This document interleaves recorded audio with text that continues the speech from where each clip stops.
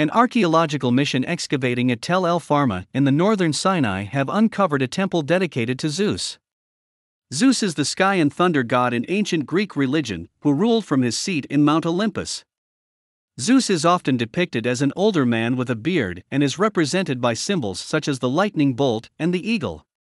Archaeologists were conducting excavations at Tell el-Farma, known by its ancient name of Pelusium, which dates back to the late Pharaonic period.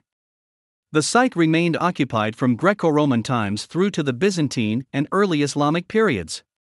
Pelusium was first excavated during the early 1900s by French Egyptologists, Jean Clédat, who found evidence of a Zeus Casios temple. Zeus Casios is a conflation of Zeus and Mount Casios in Syria, in the vicinity from fragments of ancient Greek inscriptions. Present day excavations finally discovered the temple between the Pelusium fort and a memorial church after locating pillars and a series of large granite blocks.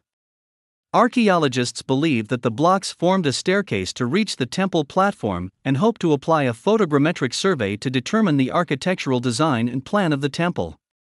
Surrounding the temple site are blocks of pink granite which were quarried in later centuries for the construction of local churches, including a Corinthian which was incorporated into the nearby memorial church.